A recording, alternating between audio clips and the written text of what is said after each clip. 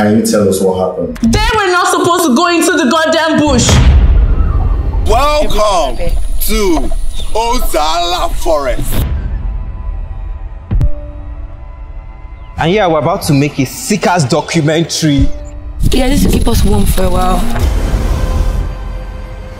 She has like a marked territory. People don't go there. 100% keep off zone.